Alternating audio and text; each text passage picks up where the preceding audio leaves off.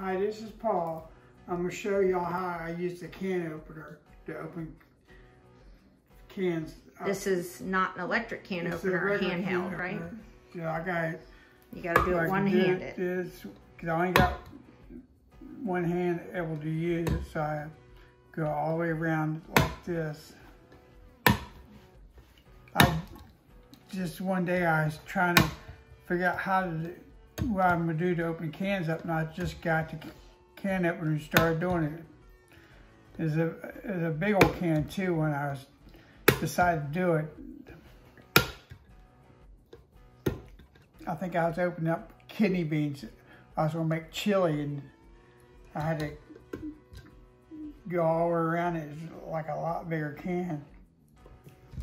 And you're doing this to show people how they can use a manual can opener because you already did one video with the electric one, right? Yes, I did.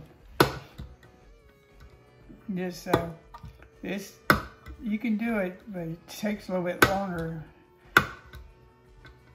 I put a towel underneath it because juice goes all over the place.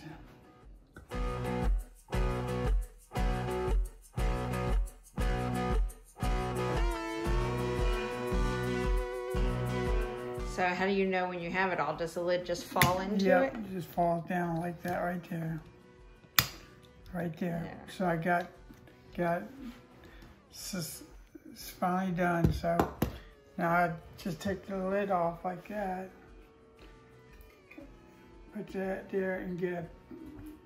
And I put it right in the pan. And that's all I do. Thanks for watching my video.